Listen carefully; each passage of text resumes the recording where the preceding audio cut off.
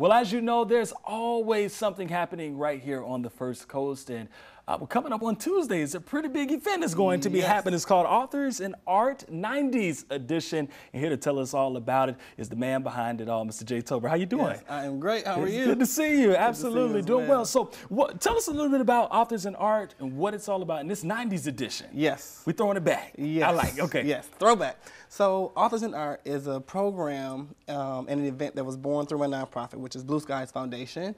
And uh, it was born out of the need for a platform for local artists. We have some amazing talent here in Jacksonville, and some of it is untapped. Um, some of it is where the, the, the, the, the, the performers don't have enough confidence. So we just provide a platform for them to go ahead and show their talents.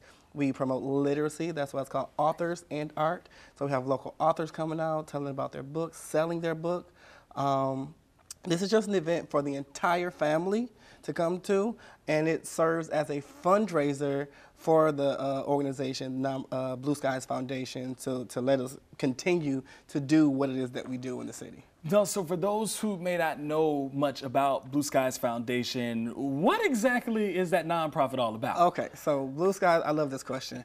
Uh, Blue Skies Foundation, right now we have three different programs, three different communities that we support. Uh, one being the entrepreneur community called Jax Entrepreneurs and Leaders. You can find that group on Facebook. There's about 1,500 members of that group right now. Um, that was born because when I was coming up as an entrepreneur, I had nobody to help me. I had nobody to teach me. So I made all the mistakes, spent all the wrong money in the wrong, all the wrong places. So I said, okay, well, let me try to do something to fight that for the person coming up after me.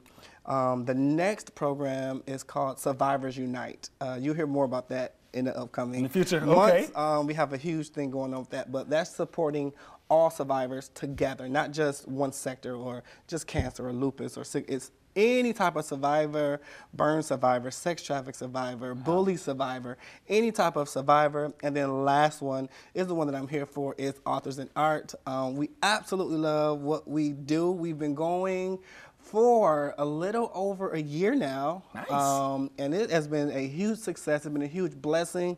I love what we do, so I appreciate you for, for even having me on right now. Absolutely, Ben. We appreciate you being here. Um, so you you have the foundation, you have um, the event coming up yes. on Tuesday. Tell me in, in a few words why people need to be there. Okay, so people need to be there, number one, to support a great cause, which is uh, Blue Skies Foundation. Secondly, is um, so that you can see what talent is actually out there. There's events happening all over Jacksonville, and if you don't know who's doing what, you don't know who to get for your event.